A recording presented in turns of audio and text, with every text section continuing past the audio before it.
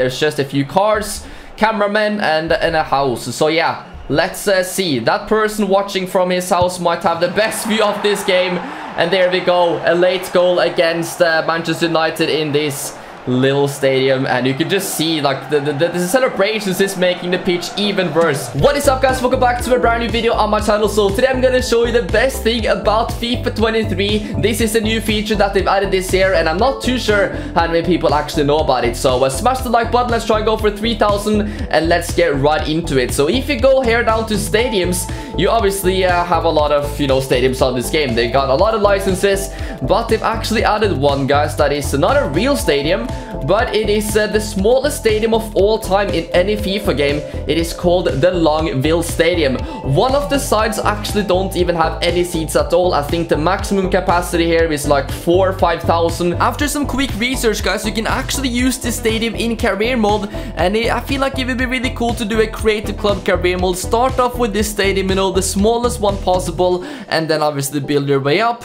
Now, however, on Ultimate Team, there is absolutely no way you can use this stadium, at least right now. The card is not available on the market, you cannot buy it, so unfortunately you cannot be playing online games there, but you never know in the future, hopefully this also gets added into the game, guys. Uh, but yeah, uh, th this was maybe added into the game just simply because of Create a Club Career Mode. This is by far the smallest capacity stadium you can start with on the whole game. So what I'm gonna do with this stadium today is that I'm gonna make it into a very, very old one from about the 1930s. We are gonna be playing some old uh, football today, guys. This is gonna be really interesting and I'll show you how to get the settings. If you go to match conditions, you wanna take this to custom. You wanna go season, winter, and uh, let's just go ahead and play during the day. The weather, we wanna go ahead and put this to rain and the pitch type is gonna be obviously natural grass. The pitch pattern is gonna be turf with no lines at all because that's how, you know, it used to be before. They didn't really have any, you know, fancy lines or something like that on the football pitch. It was just grass.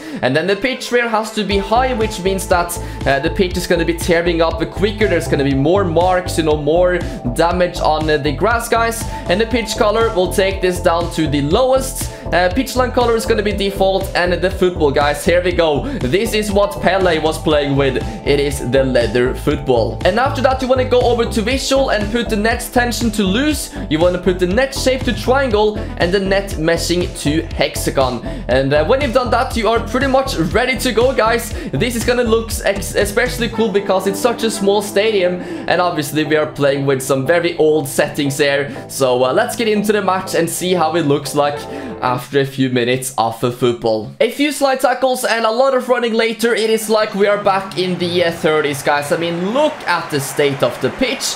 And I mean, this stadium as well is so cool because as you can see, at least on this side, there is literally no stand, no, uh, you know, seats or anything like that. Uh, there's only a, a house. Let's uh, try and forget about the fact that uh, the house is kind of modern. Um, but yeah, definitely. I mean, it's uh, it's it's really charming, guys, to play in this stadium.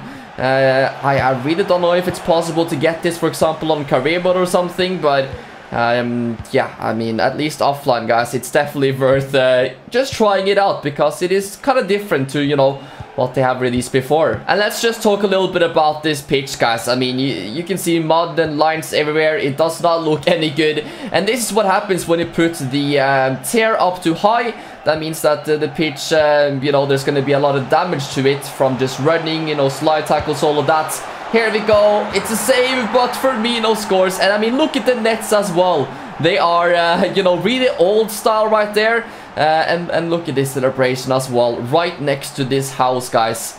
It uh, would be pretty interesting to see any Premier League games played here in real life. Now we're gonna be taking a penalty, guys, uh, at uh, this side where, of course, there is no seats or anything. And I'm not too sure if there has ever been a stadium in FIFA where, you know, there hasn't been any uh, or at least one of the sides in the stadium does not have anyone in the background. You guys can see there's just a few cars, cameramen, and, and a house. So yeah, let's uh, see. That person watching from his house might have the best view of this game. And there we go, a late goal against uh, Manchester United in this little stadium and you can just see like the, the, the, celebrations is making the pitch even worse and here we can see the kids as well guys look at how dirty they are this is proper football guys and um, yeah, it is uh, really cool to take a look at. Just look at the Diogo Jota's kit. The amount of uh, stains, uh, you know, mud, grass, everything there on the numbers as well. And uh, Firmino has been doing a few slide tackles. James Milner's kit actually looks uh, kind of clean to be James Milner. I was expecting more dirt, to be honest. But yeah, guys, this is uh, really, really cool to see. What I think we should do now, though, is that let's let Manchester United score a goal. And we'll actually do a penalty shootout uh, in this stadium, guys. And there could be some really interesting scenes at the end, you know, when we get ourselves a winner as well. So there we go. Jadon Sancho makes the pitch even worse. Yet another knee slide. The match is over and we are going to be taking this one into a penalty shootout to see who can win at this uh, wonderful stadium. You know, there is just uh, something special, as I said before, in, playing in stadiums like this that doesn't have, you know, 80,000 seats or something like that. So yeah, let's go into uh, penalties. Let's actually do the uh, ABBA penalty system. That is uh, a little bit different than normal. And uh, yeah, here we go, guys. Let's see if we can beat them on the hardest difficulty. There is no fans in the background, but James Milner steps up first, and uh, he is always secure from penalties with the mud and everything on the shirt. Ronaldo doesn't have too much on his shirt, but I mean, that penalty is absolutely insane. I mean, what is the secure, security guard actually doing there? Why, why is the steward, uh, you know, moving like that? I'm not too sure. But yeah, Mo Salah up next, and I mean, the penalties are absolutely wonderful. Here we go again, Firmino with the ABBA penalty system, and we have also missed one. Harry Maguire steps up next, and of course, Harry Maguire has missed it. And now there is a lot of pressure on Manchester United. But Antony goes ahead and scores that one. So here we go then. Diogo Jota. That is a perfect penalty chipped into the net. And uh, this is for the winner then. Trent Alexander-Arnold. Can he silence some haters today?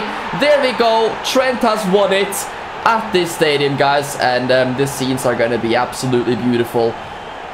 Why am I just watching De Gea right now? What is going on here? Okay, yeah, well, uh, th there's a couple of glitches, some bugs in this stadium. It's probably because it's brand new and, you know, uh, there's definitely going to be some bugs. I've already noticed that before in this stadium too. But yeah, guys, you should definitely take it out, uh, check it out. Mohamed Salah takes home the leather football and uh, the fans are to be traveling home after that. As I said, I think it's about 5,000 fans that's um, able to be in that stadium. So yeah, it's in my opinion one of the coolest new features on FIFA 23 and I really wish that they add more cool stadiums like this in the future. Maybe at some point we're to be able to make our own custom stadiums too. I think that would be really nice guys. But uh, yeah, that is it for now. Thank you so much for watching this video. Drop a like and subscribe to the channel if you enjoyed it. And uh, yeah, I'll catch you in my next one. Peace out.